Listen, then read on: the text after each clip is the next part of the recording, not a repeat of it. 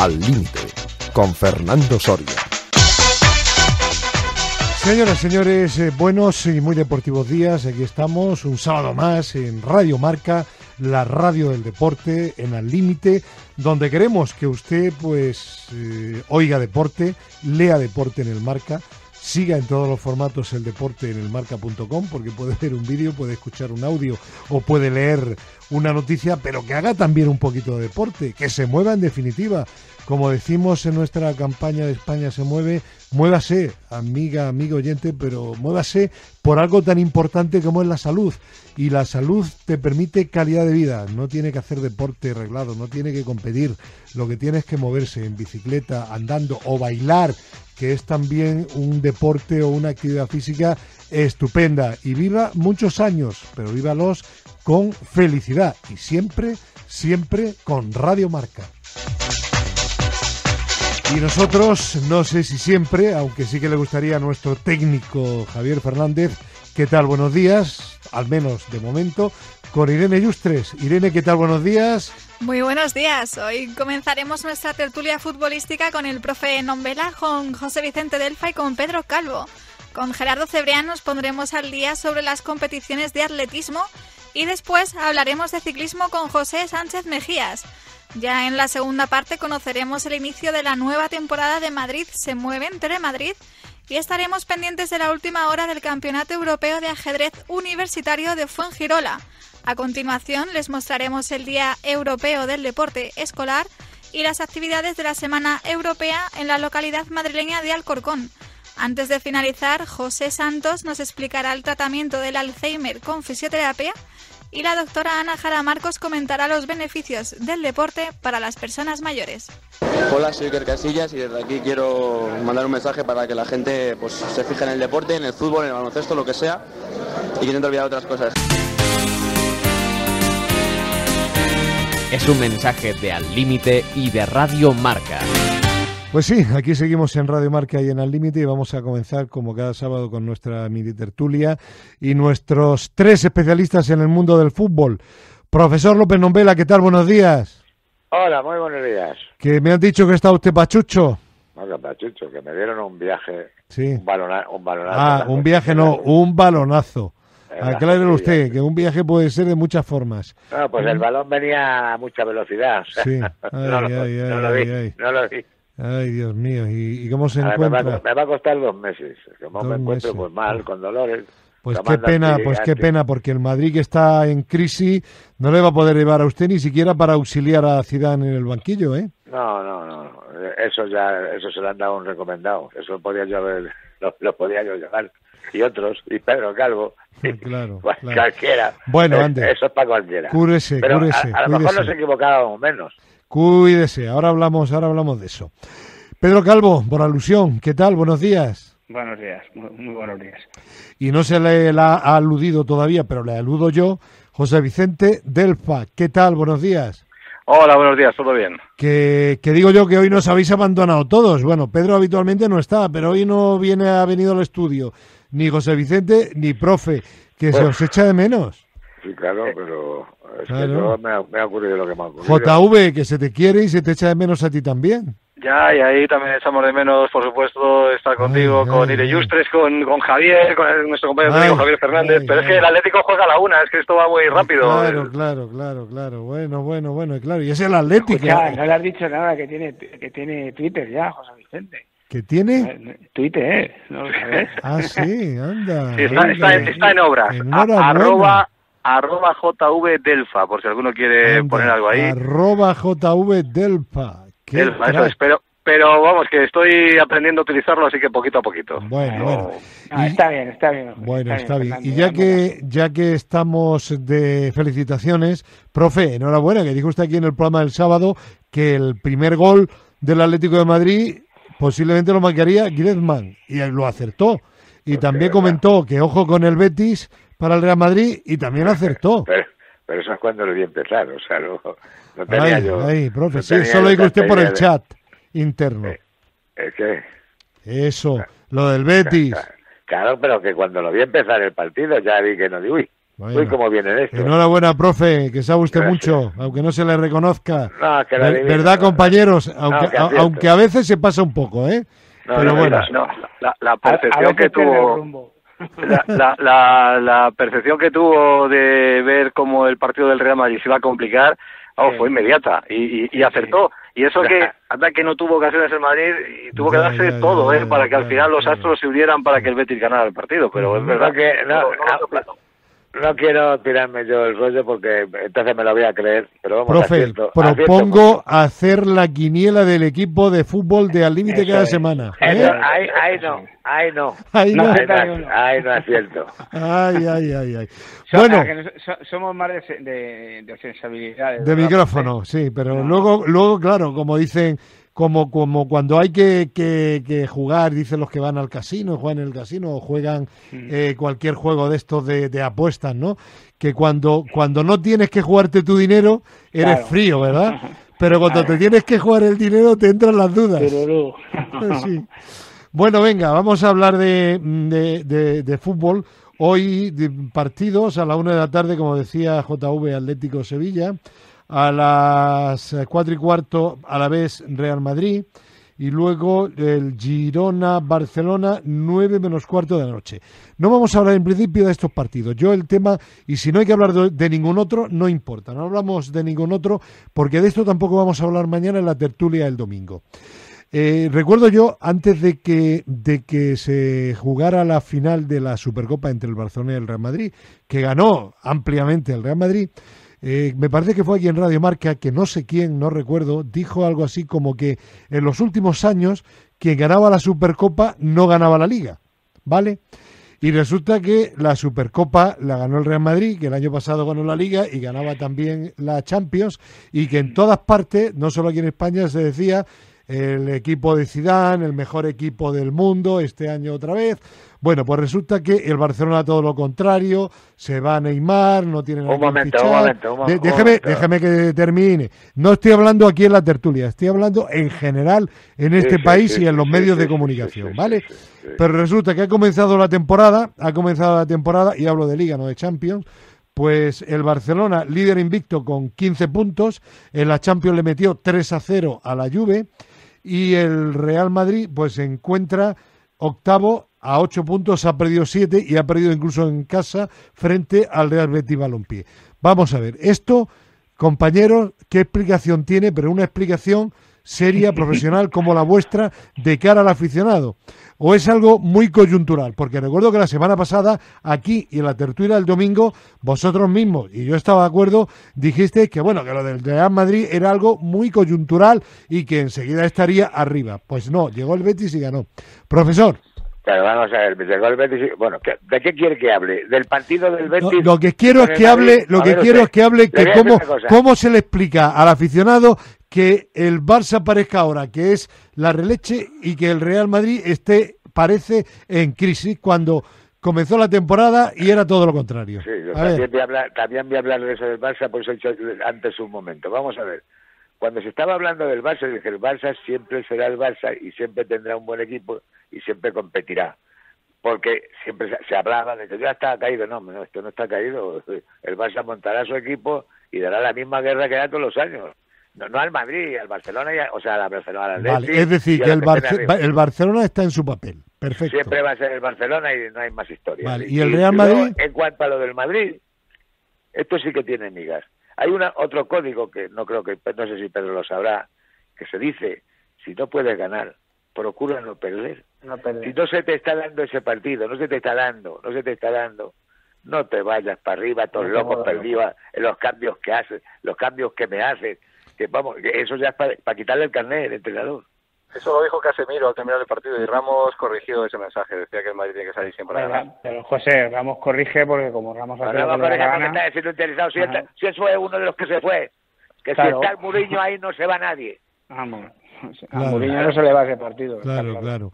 Claro, Bueno, esto, a- es lo que quiero, esto es lo que quiero decir, Bien, nada más. Pero el Madrid seguirá siendo el Madrid lo mismo que hablo del Barça.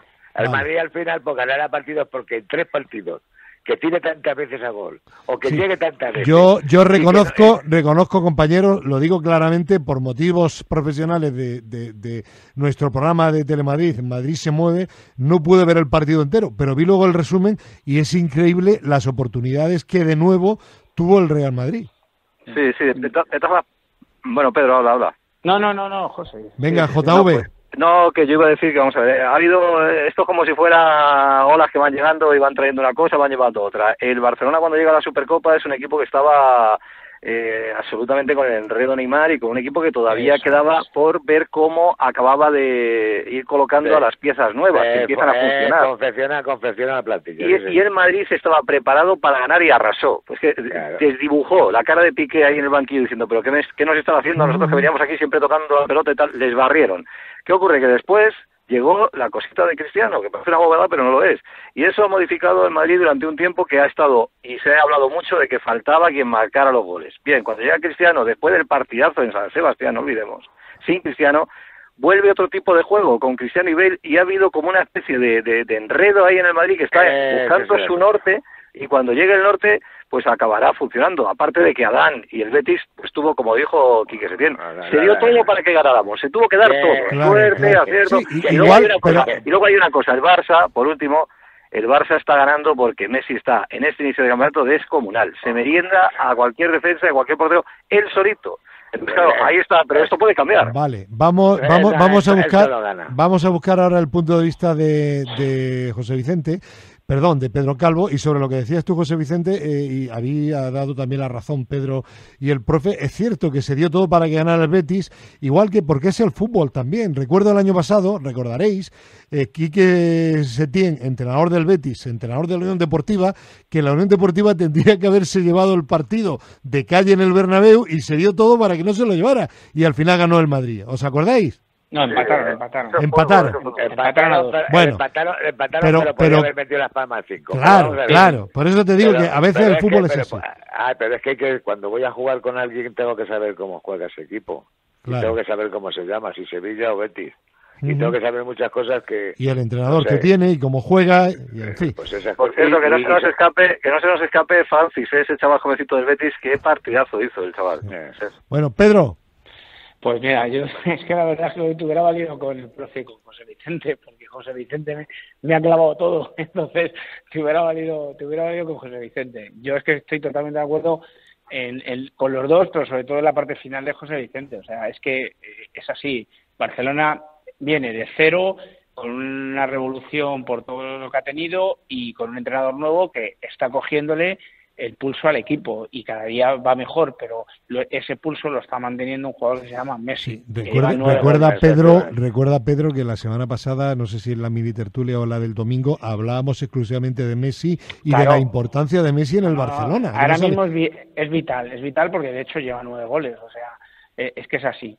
El Real Madrid, pues yo sinceramente, yo sí te puedo decir que vi el partido entero y te puedo decir que el Madrid no mereció perder ese partido en ningún momento por el fútbol exhibido hasta el minuto 75. ¿Vale? ¿Y por qué matizo hasta el minuto 75? Porque en el minuto 75 el Madrid se equivoca en todos los sentidos.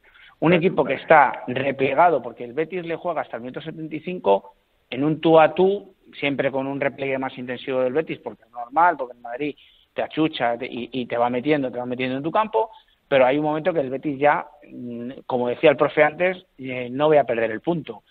Se mete con dos líneas muy pegadas en el área y el Betis está esperando a que termine el partido. ¿eh? El Betis no tenía ni por asomo que iba a ganar el partido. Y el Madrid ahí se equivoca en el sentido de que se pone a jugar como el Athletic Club de Bilbao, eh, a sacar el balón por fuera y a sacar centros.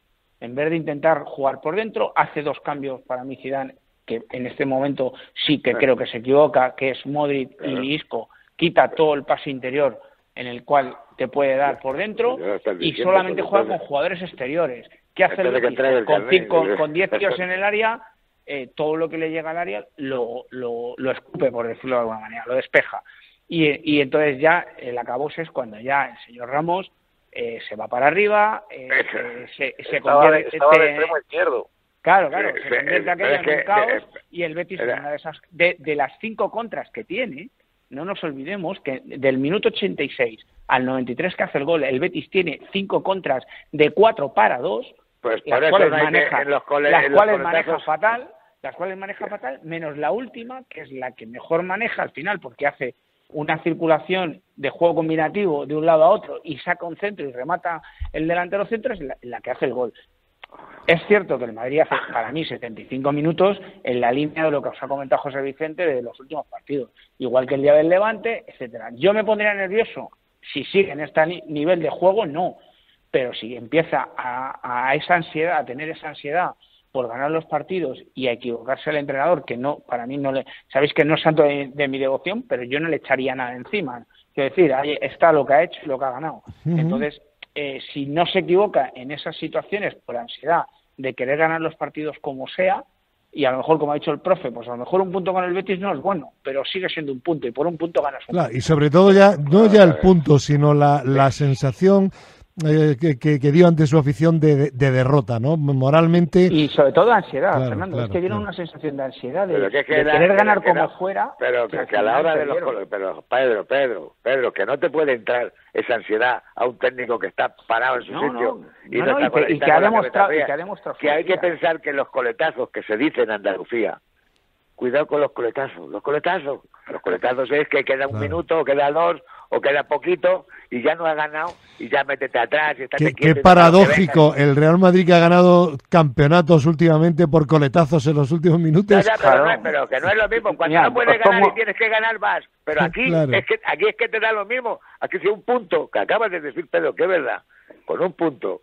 Eso, yo me acuerdo una vez Pepe Santa María que dice, es que has perdido... No, pero profe, si no, no Santa María, hemos perdido, ¿eh? El año pasado que, estaban empate a puntos en la última jornada. Eh, que, al final no es que eh, al final empate a puntos es el golaveraje efectivamente estaban de todas formas a puntos. para mí hay para mí hay un puntito todavía en algunos jugadores va a parecer perdóname perdóname José va a parecer una ventaja que yo diga no no si es que es que se ven cosas de un técnico que parece nuevo, o sea, que parece eso, el entrenador de mis juveniles, si hace eso, lo he hecho. Bueno, pero lo hemos comentado también aquí en la, en la tertulia al límite de sábado y domingo, que Zidane eh, es un gran conductor, de gestor de grupos, pero que todavía como entrenador, ahí está la mala campaña que hizo en el Castilla, todavía, todavía le falta, todavía tiene, le, falta experiencia y tiene que ir cogiendo tablas como las que tiene, por ejemplo, Mourinho con ese equipo hasta Vicente Vicente de, para llevarle la carpeta a Pedro. Profe, que no me que no nos queda tiempo no me queda tiempo la mini tertulia y JV quería decir algo, venga. Sí, no, muy rápido, que solamente cómo cambia la filosofía, imaginemos el Atlético de Madrid y Simeone, que a lo mejor aburre a todos los que están viendo el partido y hasta los jugadores y madura el partido y está esperando que llegue el gol en el último instante, pero no por, por empuje, sino por trabajo, por, por el estilo. En el Madrid eso todavía no hay quien no lo asume. o sea, las palabras de Ramos dejan claro que nosotros que somos mejores y vamos a ganar y nos vamos al ataque pero de cabeza. Pero que, hay que, te puede, costar caro. Eso te puede costar bueno, eh, una, una cosilla muy breve para, para Pedro para terminar. Ya se habla de super equipo a partir de enero del Atlético de Madrid con Vitolo y con Diego Costa. ¿Cómo lo sabes? ¿Realmente es así como se está vendiendo o no? Yo no lo tengo tan claro. No. Yo no lo tengo tan claro porque al final esos jugadores tienen que adaptarse. Diego Costa es el que más fácil lo va a tener en la adaptación, siempre y cuando lo ponga en forma el, profe, el profe Ortega, que lo pondrá y volverá a su peso en, cuatro meses. Pero yo no lo tengo tan claro. Y además, eh, como decía José Vicente, hay que conocer a Simeone. Simeone es un, un entrenador muy de, perfiles y de, y de las cosas en el momento. Y no van es posible que Diego tenga más cabida, pero Vitolo seguramente le cueste le cueste bueno pues de madurar partido dicho dicho queda y es que de verdad que no hay tiempo para más que mañana si queréis seguimos hablando también de fútbol en la segunda parte de nuestra tertulia dominical de acuerdo pues venga, eh, profesor López Nombela, mejor ese cuídese. Pedro Calvo, JV, José Vicente Delpa, gracias. Y hasta mañana en la tertulia. Un abrazo. Adiós, adiós. En un instante vamos a hablar de atletismo, pero antes tenemos una primera pregunta que ha llegado al límite arroba radiomarca.com de oyentes y ha seleccionado Irene Ilustres. María López de Ciudad Real pregunta, ¿cuántas horas de entrenamiento se recomiendan a menores de 12 años? Responde el médico Fernando Gutiérrez primer lugar, habría que tener en cuenta si es un deporte que tenga una alta exigencia energética o no. Por ejemplo, que haga tiro con arco o que haga un deporte de resistencia. Luego también habría que tener en cuenta si este deporte eh, pues tiene algún grado de especialización precoz. Por ejemplo, no lo mismo hacer gimnasia deportiva, que requiere que el menor empiece con mucha precocidad y por lo tanto sus entrenamientos sean mayores, o sea, otro deporte como ser fútbol o eh, baloncesto. Y por último, también hay que tener en cuenta si el deporte lo hace con caracteres de deporte de ocio o si es de tecnificación o competición, en cuyo caso el requerimiento sea mucho mayor. Teniendo en cuenta un chaval de 12 años que hace un deporte más o menos de recreacional, pues con que hiciera una hora diaria, debería ser unas 5 o 6 horas semanales. Es un mensaje de Al Límite y de Radio Marca. Y seguimos hablando de deporte, en este caso dicen que del deporte rey, al menos en Juegos Olímpicos, atletismo. Gerardo Cebrián, ¿qué tal? Buenos días. Buenos días, Fernando. Pues aquí estamos una semana más con nuestro amigo, compañero Gerardo Cebrián, jefe de prensa de la Federación Española de Atletismo, para hablar de un fin de semana pues bastante, bastante movido. Y podemos empezar, si te parece, con una prueba interesante en Soria, el 34 medio maratón que lleva el nombre del campeón del mundo, Abel Antón. Ni más ni menos, ¿no? Campeón del mundo de maratón. Sí, en 1997 en Atenas, en 1999 en Sevilla. Bueno, pues un medio maratón que hacen en Soria, en su tierra, a modo de homenaje de este grandísimo atleta van a competir alrededor de unos 400 atletas y participan los dos atletas, eh, el chico y la chica, que, se impusieron en el año 2016. Son eh, Sergio Sánchez y Jimena Martín, que en principio pues pues parten como, como favorito. También se hace una carrera en paralelo al medio maratón, que son los 5 kilómetros Fermín Cacho, reservados ya a categorías más, eh, más pequeñas. Y la gran cita del atletismo en este fin de semana a nivel internacional, el Maratón de Berlín, se celebra mañana domingo a partir de las nueve y cuarto de, la mañana. Y es cierto que este maratón junto al de Valencia son quizá los más asequibles para conseguir una buena marca.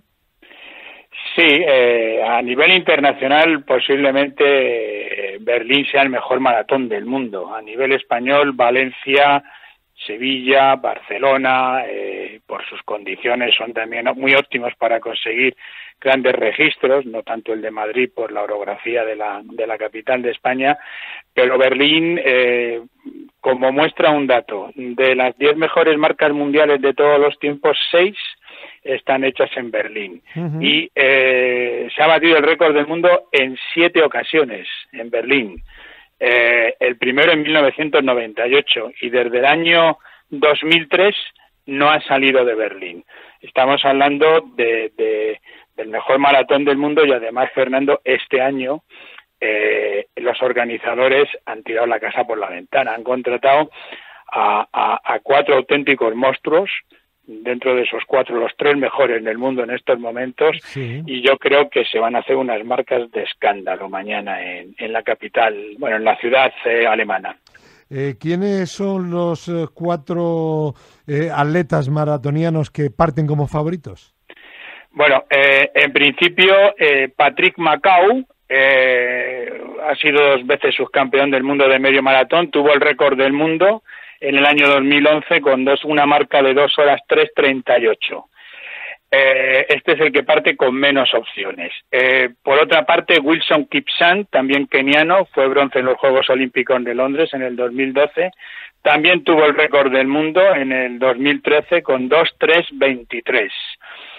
Eh, y luego, para mí, las dos grandes estrellas, que son el etíope Kenenisa Bekele, eh, autor de una supermarca eh, 20303, eh, que es una marca de escándalo, es la segunda mejor marca mundial de la historia, que en Bekele eh, tiene el récord del mundo de 5.000, de 10.000, doble campeón olímpico y ni más ni menos que 17 veces campeón del mundo contando 5.000, 10.000 y pruebas de cross. Y Eliud Kichoge, otro keniano que es el campeón olímpico del año pasado en Río de Janeiro, que tiene otro marcón, tiene un registro de dos horas tres eh, cinco, que es la tercera mejor marca del mundo. Y bueno, pues yo creo que entre estos cuatro, con especial mención para Eliud Kipchoge, el campeón olímpico, y para Kenenise Baikele, posiblemente uno de los mejores fondistas de la historia, eh, pues vaya a estar la, el, triunfo. Eh, es la primera vez en un maratón, Fernando, que se juntan cuatro atletas en el mismo maratón con marcas por debajo de dos horas cuatro minutos. Una carrera que, que, se presume que va a ser increíble. ¿Y qué representación española tenemos? Pues hay bastantes participantes españoles, pero ninguno de élite. El maratón de Berlín es un maratón multitudinario, salen una, auténtica barbaridad de gente, por encima de 30.000 personas, pero atletas de élite españoles ni en chicos ni en chicas vamos a tener. Bueno, pues en todo caso será un auténtico espectáculo, no me cabe la menor duda, este maratón de Berlín, mañana domingo a partir de las 9 y cuarto de la mañana.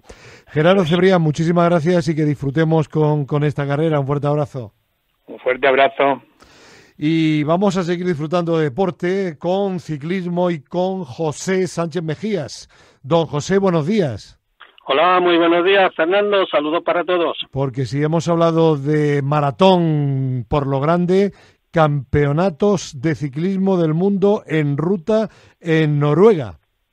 Sí, efectivamente, en Bergen, que comenzó el pasado fin de semana con una contrarreloj por equipos comerciales, con el triunfo del equipo San femenino, y más tarde con el triunfo, pero en esta ocasión de los masculinos, también del mismo equipo, San Nuet, y con Tondo Moulin al frente. Durante toda la semana, pues se han estado celebrando además otros campeonatos de diversas categorías, pero hay que destacar la contrarreloj individual de 42 kilómetros para profesionales, donde se impuso, pues como no, Tondo Moulin, seguido de Primo Roglic y en la tercera posición, pues cómo no, con Christopher Froome. El español, el primer español fue décimo primero, que es Castro Viejo. Ayer viernes también hubo campeonato de sub-23 eh, masculino y ganó el francés con Freud.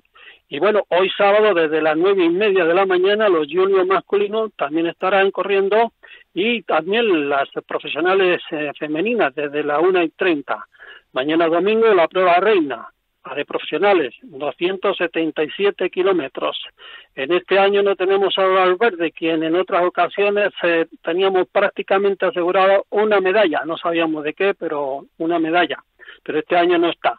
Los que sí están es Luis León Sánchez, José Joaquín Rojas, David de la Cruz, Jesús Herrada, Mar Soler, Más, que este sprint está muy bien. Vamos a ver si en una escapada o al sprint podemos hacer algo, Fernando. Bueno, de momento a nivel directivo sí que ha habido movimiento porque hay nuevo presidente de la Unión Ciclista Internacional. Así es, porque aquí en Bergen, el pasado jueves, día de descanso, se ha celebrado el Congreso de la UCI y ha habido elecciones para presidente y el francés David Lampartien ha ganado por 37 a 8 votos al hasta ahora presidente Brian Cusson, por lo que David Lapartien es el nuevo presidente de la Unión Ciclista Internacional. El español José Luis López Cerrón, como sabe, presidente de la Federación Española de Ciclismo, entra como miembro en la comisión ejecutiva, que es muy importante, esta comisión. Bien, terminó la vuelta, pero ya se ha presentado el Giro de Italia para el año que viene. Sí, el pasado 18 de septiembre se presentó en Jerusalén, donde comienza el viernes 4 de mayo, comienza en un viernes el Giro de Italia 2018, y donde se celebrarán tres etapas en tierra israelí. El lunes descanso para trasladarse ya a la bota italiana, pero habrá una primera etapa, una contrarreloj de 10 kilómetros por la ciudad vieja de Jerusalén, luego la segunda etapa, 167 kilómetros en Tel Aviv, y una tercera etapa 227 por el desierto de Negev y final en Eilat, a orillas del Mar Rojo.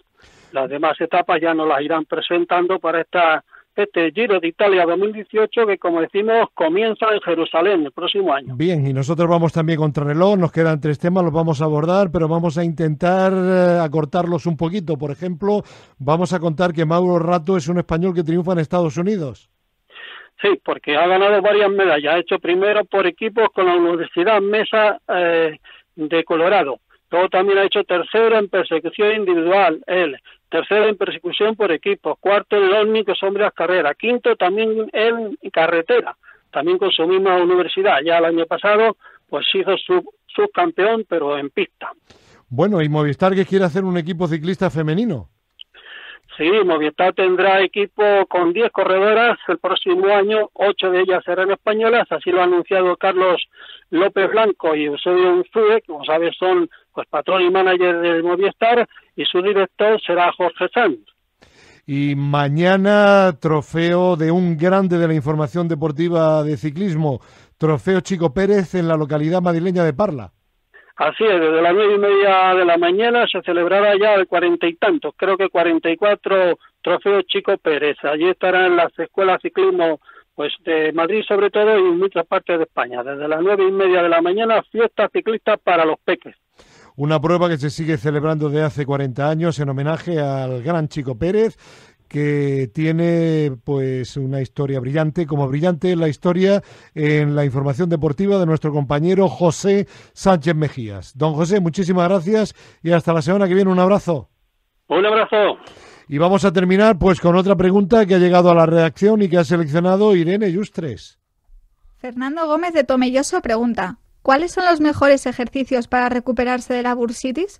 Responde el fisioterapeuta de la clínica Alberfis, Antonio Álvarez, y colabora el Colegio Profesional de Fisioterapeutas de la Comunidad de Madrid.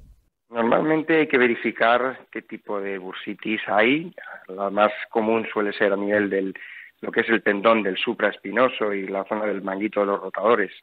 En esos casos normalmente hay que aplicar lo que es electroterapia antiinflamatoria y eh, intentamos potenciar y dar estabilidad a todo lo que es eh, la musculatura del hombro, de la cintura escapular. Mm, se suele aconsejar no hacer nada de natación, ya que la movilidad que se produce en la natación hasta que esa bursa no va bajando la inflamación puede estar irritando más que favoreciendo eh, ese tejido inflamatorio. Normalmente eh, procuramos hacer lo que es eh, movimientos de antepulsión, de retropulsión y de rotación, ¿vale? Con poquita resistencia y se suele trabajar mucho con las gomas de Teraban para intentar ir modificando e ir sobre todo adaptando parámetros de movilidad menor que nos ayuden a que esa bursa vaya bajando la inflamación. Es un mensaje de Al Límite y de Radio Marca. Al Límite, en Radio Marca. Aquí seguimos en Radio Marca y vamos a hablar ahora de España se mueve, porque ya saben que esa campaña nació de aquí, de, Al Límite, de Radio Marca, pretende que los ciudadanos, los españoles se muevan, que anden, que vayan en bicicleta, que sean activos, porque eso es estupendo para la salud. Y desde hace año y medio, pues la parte regional de España se mueve, Madrid se mueve, y Telemadrid ha ofrecido el programa Madrid se mueve que ahora inicia el próximo fin de semana, el sábado día 30, dentro exactamente de una semana, la cuarta temporada. Y uno de los hombres de ese programa es también nuestro compañero de aquí del límite de Radio Marca, José Vicente Delfa. José Vicente, buenos días de nuevo, hombre. Buenos días y un placer continuar con Madrid se mueve. Vale, hoy, hoy empleo, ¿eh? Sí, bueno, eh, bienvenido sea. claro, claro, sobre todo para la cuenta corriente, ¿no? bueno, y para trabajar en cosas que nos gustan. Eso está bien. Bueno, que cuarta temporada de, de, Madrid se mueve, no solamente ya programa de sábado once y media, sino también de domingo a las once y media, doble edición, y me imagino que eso significa que el programa ha ido bien en las temporadas anteriores y que la dirección de Telemadrid cree en el proyecto España se mueve, ¿no? Sí, por supuesto, es una apuesta que sirve para que todo aquel que vea el programa primero se entretenga, se divierta, pase un buen rato viendo cómo se hacen muchísimos eventos y además también hay muchas historias interesantes de personas que superan problemas o simplemente que hacen deporte. Es bueno para animar a todos a que desde su asiento desde el sofá tranquilamente viendo la televisión, diga, pues yo también puedo hacerlo, yo también puedo estar en forma, yo puedo estar mejor de salud. A partir de ahí, la apuesta de Telemadrid es importante, con dos días a la semana, además justo previo a ese otro gran evento que va a ser la emisión del partido de Segunda B. Entonces, con ese acuerdo con la Federación de Fútbol de Madrid, entonces vamos a estar en un lugar muy oportuno, muy adecuado para empezar la mañana con ganas de estar en forma y de ponerse a tope de salud. Contenidos que son perfectamente interesables, interesantes, yo diría que visibles para cualquier ciudadano de cualquier punto de España, puesto que son contenidos relacionados con la promoción de la, de la práctica deportiva y los eventos deportivos populares. Y me imagino que los equipos de producción, cámaras, redactores, editores, pues estarán que echan humo, ¿no? Sí, con José Arregui, con Javier, nuestros cámaras, con Irene Ilustres, sí, sí, correcto. Un fenómeno además en, la edición de, y, montaje de, de Habla de Irene Ilustres y no solamente se le puede escuchar en el límite, sino que se le verá también en Telemadrid la cara, la imagen. Sí, María, que también va a estar trabajando con nosotros en esa faceta. Vamos a estar en muchos puntos de atención, desde Madrid, corre por Madrid, una carrera sensacional por todas las calles y toda la zona más eh, bonita de la capital, organizado por la Comunidad de Madrid, hasta eh, una carrera primera vez eh, universitaria, más track, con obstáculos, con dificultades. Estaremos también con esa buena manera de hidratarse, que es tomar una cerveza en la Beer Runners, donde estuvo hasta la ministra de Agricultura y un famoso como Jesús Calleja. Vemos también otras muchas situaciones, ya digo, de historias particulares. Bueno, no, anticipes, no anticipes todo, si te parece lo dejamos para la semana que viene. Es que hay mucho, Fernando, hay mucho que contar. Yo creo que no vamos, eh, nos va a faltar hasta tiempo. Y, y ojo que hay redifusión. Sí, eso es. También habrá redifusión de madrugada, con lo cual en la otra. No, de, madrugada no, de tres y media a cuatro de la tarde. Sábado ah, y domingo. En la otra, sí. Es que en la otra, eso. Eh, eh, como ha habido, digamos que ajustes de programación, hay algún detalle que a mí al final ha cambiado y mira, esa hora es una hora excelente también para poder pues, verlo. Es que el programa es Madrid se mueve, está en continuo movimiento. pues sí, sí, vamos a intentar transmitir y sobre todo que sean reportajes que resulten de interés, divertidos y que animen a estar en mejor estado físico a todos. pues si te parece, la semana que viene, el sábado, contamos contenidos, avanzamos del programa de sábado y programa también de domingo. Y desde aquí, pues agradecimiento a la dirección de Telemadrid, a su director general José Pablo López, a su director de deportes Javier Callejo, que nos están dando todo su apoyo y que ayudan a que Madrid se mueve sea la parte regional de España se mueve, un proyecto para todos los ciudadanos para que mejoren su salud y un proyecto en el que ha apostado desde sus inicios Radio Marca, la radio del deporte. José Vicente, que, que en todo caso, aparte de lo de la semana que viene, que mañana tertulia al límite, ¿de acuerdo? Ahí estaremos. Un abrazo, hasta mañana, gracias. Hasta mañana. ¿Y dónde se mueven mucho también? Pues en la localidad de Alcorcón, con cerca de 200.000 ciudadanos, y no todos hacen deporte, pero muchos de ellos sí que, sí que lo hacen.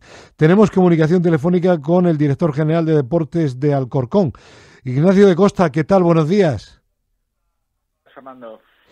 Pues que la Semana Europea del Deporte empieza hoy y que Alcorcón, con toda su parrafernalia, en el buen sentido de la palabra deportiva, pues que se ha unido a la Semana Europea del Deporte, ¿no?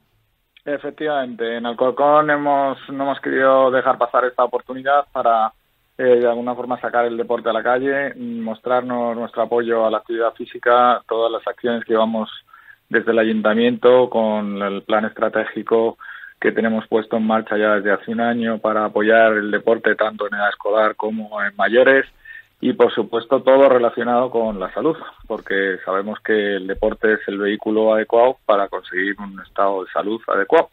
Eh, un programa muy completo de actividades y destaca, por ejemplo, un acto homenaje a deportistas de Alcorcón triunfadoras. Efectivamente, hemos querido aprovechar la oportunidad para eh, homenajear, reconocer a las mujeres deportistas triunfadoras de Alcorcón y así hemos titulado este acto que tendrá lugar el lunes próximo lunes 25 eh, a las seis y media de la tarde en el Polideportivo Los Cantos, en el cual vamos a premiar a más de 180 mujeres que han conseguido eh, triunfos en la pasada temporada en diferentes deportes, que han conseguido campeonatos de España, que han conseguido eh, campeonatos de Europa que, han subido al podio o han conseguido medallas de oro, bronce y plata, plata y bronce en, en muchas eh, especialidades deportivas que a través de los clubes deportivos, más de 50 clubes deportivos que el ayuntamiento apoya con la cesión de instalaciones y con eh, subvenciones, pues han conseguido esos triunfos en las competiciones que han participado, llevando el nombre de Alcorcón no solo por España, sino por todo el mundo. Y además habrá ese día una exhibición de las eh, gimnastas de la Escuela Municipal de Gimnasia Rítmica de Alcorcón.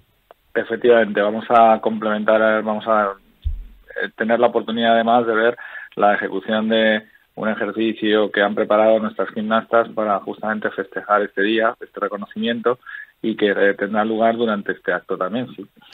Pues eh, felicidades al Corcón por ese movimiento que va a tener deportivo también durante la Semana del Deporte y desde luego pues apetece mucho moverse y acudir. Eh, precisamente nuestro próximo invitado, eh, pues no sé si tendrá oportunidad, pero seguro que si puede va a estar allí. Nuestro próximo invitado es el presidente de la Unión de Federaciones Deportivas Madrileñas, Vicente Martínez Zorga. Don Vicente, ¿qué tal? Buenos días. Buenos días, Fernando. Al otro lado del hilo telefónico tiene a su amigo Ignacio de Costa, pues que si puede habrá que apuntarse eh, a ese homenaje femenino a las mujeres del deporte de Alcorcón el día 25, ¿eh? Ya, ya me ha liado para ir allí por la tarde, sí, señor. Efectivamente, ahí está invitado Vicente. Buenas, buenos días, Vicente. Y la verdad es que, que sí, estaremos encantados de que estés con nosotros. Sí, señor, allí estaremos. Pues que, que sea todo un éxito, eh, Ignacio de Costa, director general de deportes, y que por supuesto que seguimos en contacto permanente, ¿de acuerdo? Sí, muchas gracias Fernando por el apoyo que siempre dais al deporte y el apoyo que nos estáis dando en Alcorcón, por supuesto, a todas las actividades que estamos llevando adelante. Un abrazo. Un abrazo. Bueno, don Vicente, sin embargo, hoy no vamos a hablar de deporte madrileño ni tampoco de, tiro olímpico, que es el deporte que usted preside en la Federación Española, sino que vamos a hablar del Campeonato Europeo de Ajedrez Universitario de Fuengirola, que comenzó ayer viernes. Cuéntenos. Bueno, ayer empezaron la competición, la inauguración fue el día 20, es ajedrez y bridge, son los que denominamos deportes del conocimiento y es un campeonato de Europa universitario, efectivamente, con la participación de 15 países y unos 150 personas que, se han desplazado hasta Fuengirola, que bueno, es un sitio dentro de, nuestra geografía, pues eh, ideal por, por clima en estas fechas todavía para que puedan disfrutar los participantes en estos dos deportes. Eh, los oyentes que estén por la zona tienen la posibilidad de, acudir y ver esas partidas que tienen que ser muy interesantes. Sí, sí, sí, perfectamente. Este, esto está registrado todo en unos salones maravillosos del Hotel Las Palmeras en Fuengidola y el acceso, por supuesto, que, es gratis y libre y estaríamos encantados de recibir a ese público que pueda ver a los jugadores europeos de, universitarios pues desarrollar sus habilidades. De hecho, hay grandes maestros, en tanto hay algún jugador, aunque es universitario, profesionales en bridge y, grandes maestros hay dos en ajedrez. ¿Y los españoles eh, qué tal? ¿Qué posibilidades tienen?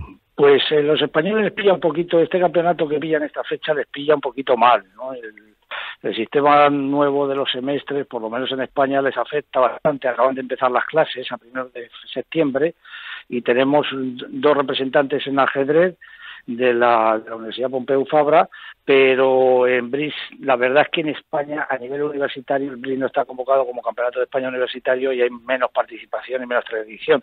Había apuntado también eh, un equipo, había apuntado un equipo de una universidad catalana que al final no ha venido. Yo creo que, que las fechas para ellos no, no son no son buenas, ¿no? Pero bueno, tenemos la representación por lo menos institucional, nuestra bandera ha desfilado. Eh, ¿Qué instituciones eh, colaboran en este evento? Pues eh, está organizado por la Universidad Internacional de Andalucía y obviamente la Junta de Andalucía y el Ayuntamiento de Fuengirola. Y bueno, pues eh, una, un escenario magnífico, Fuengirola en esta época del año, un torneo con dos grandes maestros europeos de ajedrez, pues que, que aproveche usted también para descansar un poquito, porque a partir de, de mañana domingo, pues tiene ya que estar en Alcorcón, en ese homenaje que hay a las chicas, y le queda poquito por estar por esa tierra maravillosa de Málaga que un fuerte abrazo y que seguimos en contacto. Y ya sabe, lo hemos comentado anteriormente, que Madrid se mueve en Telemadrid comienza el próximo sábado. Lo sé, lo sé, y además ahí hay que, hay que ayudar al programa y el programa nos tiene que ayudar a nosotros. Por supuesto que sí, el programa lo que quiere reflejar es la unión del deporte madrileño, que queremos que sea un ejemplo para el resto de comunidades, que haya unión en Madrid, en Cataluña, en Canarias, en Valencia, en todas las regiones de España. En definitiva, verdad que los ciudadanos, que los españoles se muevan, nos movamos. Pues sí, perfectamente. Y además es que, bueno, pues es, salud, es deporte, es actividad, ¿no? Yo creo que ese programa refleja perfectamente la voluntad de la gente y bien dirigido como está por, por, por ti, yo creo que al final pues seguirán los éxitos que hemos tenido en otras temporadas. Pues seguiremos colaborando, no cabe duda. Vicente Martínez Zorga, muchísimas gracias y que vaya bien este Campeonato de Europa de Ajedrez Universitario de Fuengirola. Un abrazo. Pues Un abrazo y buenos días. Y seguimos hablando de la Semana Europea del Deporte, porque habrá también el día 29, Día Europeo del Deporte Escolar, que organiza, coordina la ONG Deporte para la Educación y la Salud. Eh, Andreu Raya, buenos días. Hola, buenos días, Fernando. Casi 80.000 escolares inscritos ya, ¿no? Pues sí, eh, la verdad es que no, o sea, no, no solamente casi 80.000, sino que estamos en los 200.000. Anda, pues, pues eh, esa es una noticia estupenda, ¿eh? Sí, sí, en estos últimos dos días, jueves, viernes, eh, hasta hoy sábado, pues apuntándose colegios y la verdad es que, bueno, pues cuadruplicamos las, las cifras de participantes del año pasado a una semana vista y, a nivel de centros educativos participantes, pues ya hemos duplicado también la cifra del año pasado. Bueno, ¿y en qué va a consistir ese Día Europeo del Deporte Escolar? Bien, la, filosofía del Día Europeo del Deporte Escolar, que emana del, bueno, pues de una iniciativa de la Federación Húngara de Deporte Escolar, es que cada centro educativo organice internamente pues, sus actividades en base a bueno, pues sus estructuras, el tipo de alumnado que tengan, las posibilidades y un poco el ingenio siempre buscando que el deporte sea participativo, es decir, que hagan el deporte, deporte todos los alumnos de centro y que sea un deporte más, digamos, para mover a todos que por el mero hecho de competir y buscar al, buscar al mejor. Bueno, eh, el deporte es fundamental a cualquier edad, pero en la etapa escolar es imprescindible, ¿no? Sí, es, eh, bueno, si conseguimos que los chicos, eh, pues, de alguna forma e integren en su estilo de vida el deporte, vamos a tener muchos menos problemas en el futuro. Eh, la situación actual es de que, bueno, pues eh, únicamente cuando llega la adolescencia, uno de cada cinco niños, el 20% únicamente, eh, están cumpliendo con las recomendaciones de actividad que de actividad física mínima que está que bueno que, predica la Organización Mundial de la Salud y eso es en lo que tenemos que trabajar que los chicos eh, realmente hagan se muevan hagan deporte y que gracias a ello consigan también pues integrar toda una serie de valores que les van a servir para a, lo largo de toda su vida. Eh, una curiosidad, ¿eh, ¿colegios de todas las zonas de España o solo de algunas? Pues yo creo que no hay ninguna zona de España que no se haya apuntado. Tenemos pues todas las autonomías, eh, incluso como este año hay un ranking de autonomías, vamos viendo cómo, cómo las autonomías se van pues adelantando unas a otras en ciertos momentos de la semana. Y pero sí, desde Galicia hasta Cataluña, Canarias, Andalucía, Madrid, Euskadi, es decir, todos los este año la verdad que tenemos centros de todos de todas las autonomías y también hay que darle las gracias aparte de bueno pues España se mueve a Radio Marca a, medios de comunicación que se habéis votado con nosotros también a todas las instituciones de todos los lugares de España porque nos están haciendo pues eh, de altavoces de forma de forma muy muy, muy importante. Recuerden por tanto día 29 de septiembre día europeo del deporte escolar coordinado por la ONG Deporte para la Educación y la Salud Andreu Raya, muchísimas gracias y seguimos en contacto. Un fuerte abrazo. Un fuerte abrazo, Fernando, y muchísimas gracias. Y colabora, como bien decía Andreu, también. España se mueve, por lo menos, dando difusión mediática, como queremos colaborar también ahora con la Semana del Corazón, que está eh, pues prácticamente ya en, marcha y para ello tenemos comunicación telefónica con Carlos Macaya, que es el presidente de la Fundación Española del Corazón. Eh, don Carlos, ¿qué tal? Buenos días. Buenos días. Bien, eh, bien, preparando efectivamente la semana que, que ya va a comenzar esta, esta misma dentro de cuatro días. ¿Qué día comienza exactamente? Bueno, comienza el día 27 eh, en Madrid. Eh, en Madrid comienza el 27. Realmente se extiende una semana. El Día Mundial del Corazón es el 29 de septiembre, pero a nivel de todo el mundo.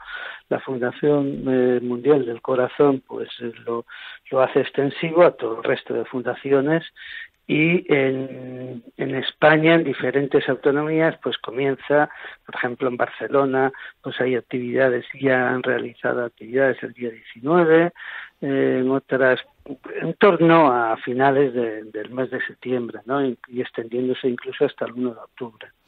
Y el gran... En Madrid, en Madrid empieza este miércoles, que se inaugurará el 27 de, septiembre. Y aunque es una semana nacional y estamos en un programa también nacional, bueno, una semana realmente yo diría casi mundial, eh, y estamos en un programa nacional en Madrid, es donde se, se centran algunas de las actividades más importantes, como la ya clásica y habitual, Carrera del Corazón que tendrá lugar el próximo sábado día 30 en la Casa de Campo y en la que también colabora España se mueve. Efectivamente, efectivamente, es la, la octava edición ¿no? de la Carrera del Corazón.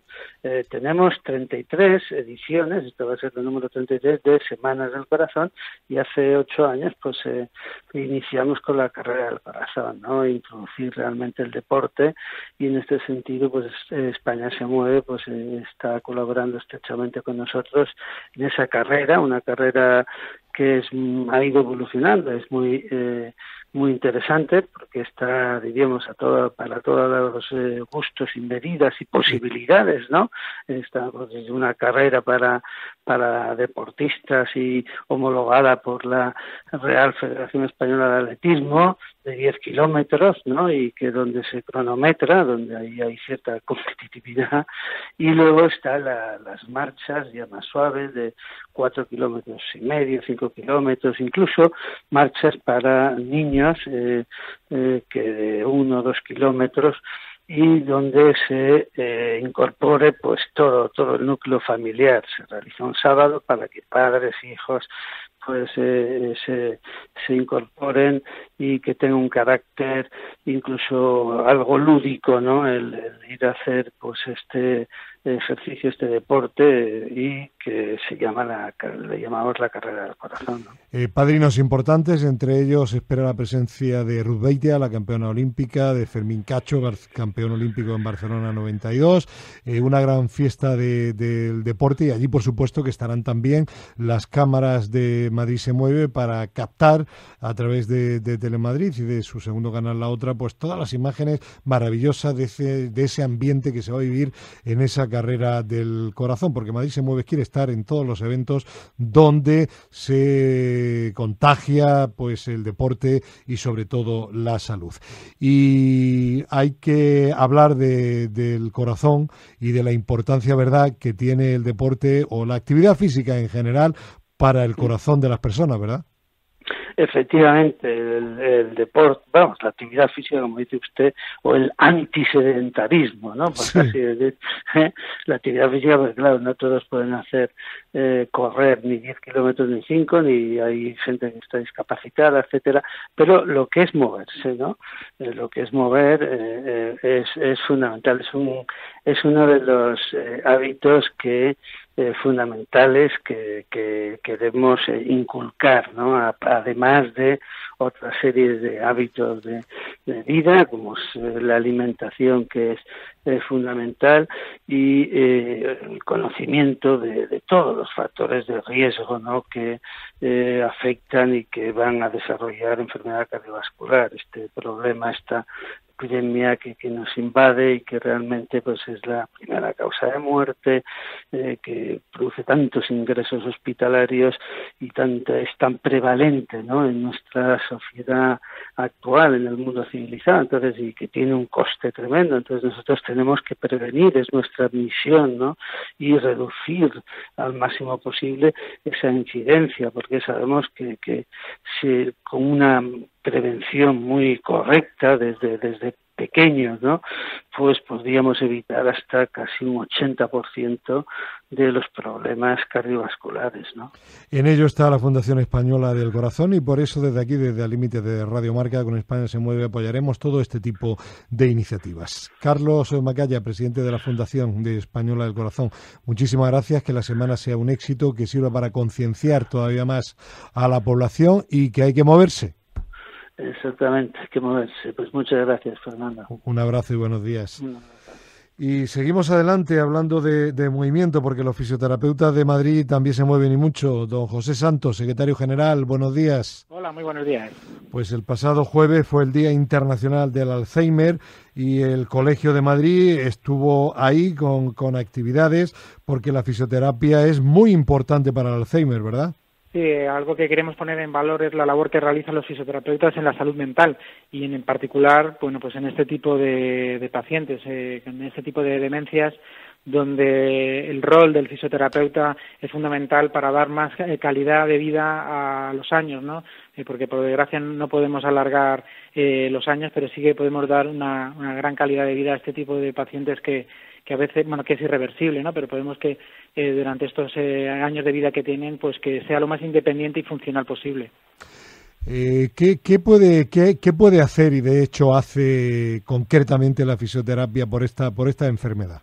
Pues como te decían, eh, los fisioterapeutas lo que intentamos es sacar el máximo rendimiento del paciente con Alzheimer dependiendo de la fase que esté. Normalmente suele haber tres fases eh, y sobre todo pues eh, las primeras fases es más colaborativo y las últimas fases pues es una fase más de encamamiento donde entonces eh, intentamos evitar pues los, los riesgos que tienen pues el hecho del inmovilismo no pero eh, sí que intentamos que pues en las primeras eh, fases pues que el paciente lo máximo posible tenga una calidad de vida independiente saludable física que se mueva como bien decías del, del movimiento no intentamos ayudar a que retardar la evolución de la enfermedad pues haciendo que su aparato locomotor pues se mantenga lo más activo posible. Su sistema, hablabas del corazón anteriormente, eh, muy importante también pues eh, el sistema cardiorrespiratorio que tiene este tipo de pacientes y hacemos una fisioterapia respiratoria, hacemos que con el movimiento, los ejercicios terapéuticos que hacemos con ellos eh, mantengan ese corazón todavía lo más activo posible para que bueno se pueda mover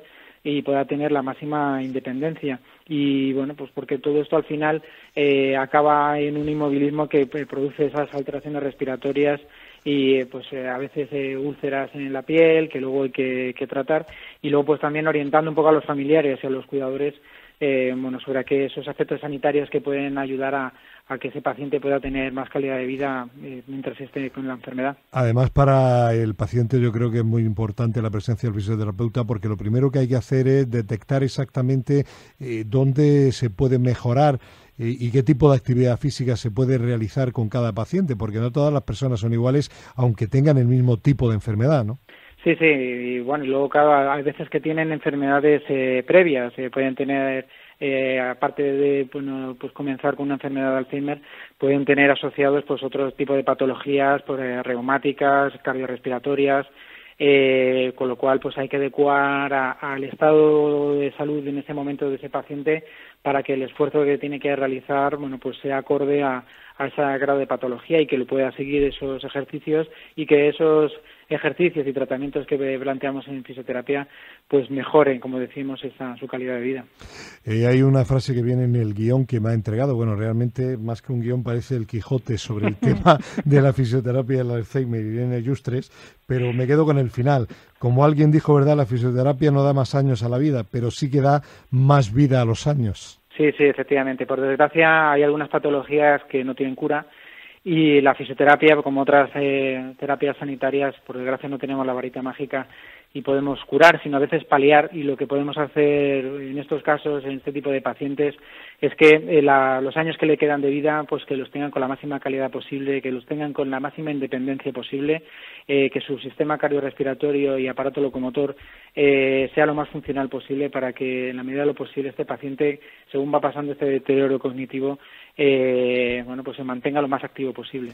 Pues José Santos, secretario general del Colegio de Fisioterapeutas de la Comunidad de Madrid, gracias por tu presencia de nuevo en Al Límite en Radio Marca y estaremos ahora más en contacto todavía, si cabe, ya sabes, por la inminente eh, eh, difusión de la cuarta temporada de Madrid se mueve, ¿de acuerdo? Pues eh, muchísima suerte en esta nueva etapa y enhorabuena por el trabajo que hacéis. Gracias y un fuerte abrazo. Un fuerte abrazo. Y vamos a terminar con nuestra estupenda doctora Jara Marcos, que hoy nos trae un comentario pues muy interesante precisamente sobre personas mayores. Buenos días. Hoy hablaremos sobre el ejercicio físico en los mayores. Constatado es que la edad media ha aumentado el envejecimiento activo, que es clave para conseguir una población mayor sana. Es la mejor estrategia no farmacológica. La actividad está asociada a un menor riesgo de mortalidad por el efecto cardioprotector y de síndrome metabólico, disminuyendo la posibilidad de infarto de miocardio y de desarrollar diabetes. Además, incrementa la densidad ósea, reduce el riesgo de caídas, mejora la función cognitiva y reduce la posibilidad de demencia y de Alzheimer. En los ámbitos sociales combate el aislamiento, la depresión y la ansiedad, aumentando la autoestima y la cohesión social.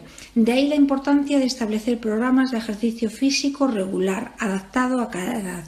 Hay que resaltar que solo la cantidad y la calidad del ejercicio físico de forma adecuada contribuirán a mejorar la capacidad funcional global y que no solo hay que realizar ejercicio aeróbico, que es el que habitualmente se programa, sino que hay que incluir fuerza y coordinación. El ejercicio físico se considera como una píldora anti-envejecimiento ya que desarrolla su potencial físico incrementando la salud mental y atenuando, retrasando las consecuencias negativas de la edad. Eh, esto es todo por hoy. Muy buenos días, amigos. Si quieren contactar o más información sobre la doctora Jara Marcos, entren en su página web www.doctorajaramarcos.com. No hay tiempo para más. Mañana tertulia límite aquí en Radio Marca con Javier Fernández de 7 a 8 de la mañana e Irene Yustres. Adiós.